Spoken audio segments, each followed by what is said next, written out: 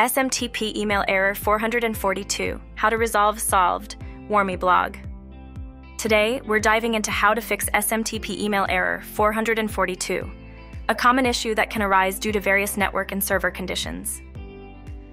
Let's explore some effective solutions. Firstly, the primary cause of SMTP email error 442 is network connectivity issues. If there's a disruption between your sending and receiving servers, the email connection could unexpectedly drop. Another factor could be the recipient's email server facing high traffic or temporary overloads. This can prevent it from processing your emails promptly, causing error 442. Incorrect timeout settings on your email server might also be at fault. If the connection closes before your email is fully sent, you'll likely see this error. Quality of service, QoS, rules in some networks may also contribute. These rules can deprioritize email traffic, leading to dropped connections during high bandwidth usage. At Warmy.io, we offer a solution with our email warm up services. These services gradually increase the volume of emails sent from a new account, enhancing the sender's reputation.